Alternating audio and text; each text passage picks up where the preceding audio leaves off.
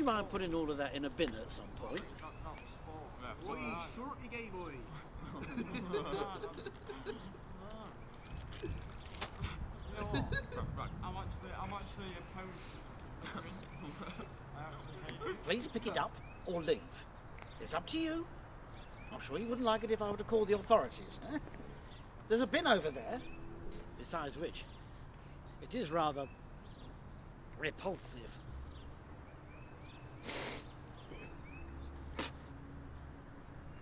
You little bastards! Clear off the lot of you. Get out of here, you little vermin, or I'll smash your skulls in!